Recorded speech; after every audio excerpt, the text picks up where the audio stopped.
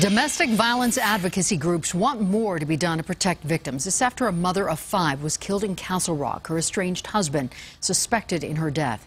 7 News reporter Mark Boyle is in Castle Rock. Mark, you've talked to these advocacy groups and they want more preventative measures. Specifically, ways to contain violent offenders before the attacks turn serious or even deadly. That wasn't done here. Even still, domestic violence experts say the victim did everything right. It was just over in a suburban area here in Castle Rock where she died from stab wounds.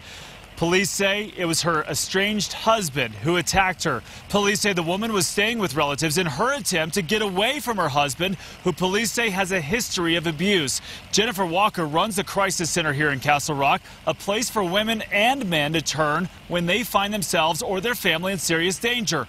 Walker says the victims need to seek help to escape the situation, which is just what the woman did in this case. Unfortunately, it wasn't enough finally made this choice to go. And even in all of her really, really well thought out efforts, he didn't care about what laws were there and what rules were there and what protections were there for her.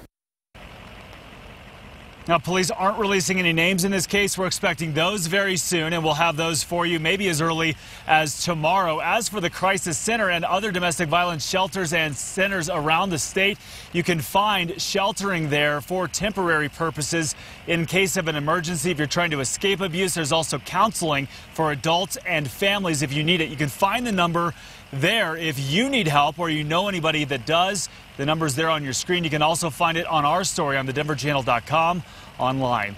Live in Castle Rock, Mark Boyle, 7 News.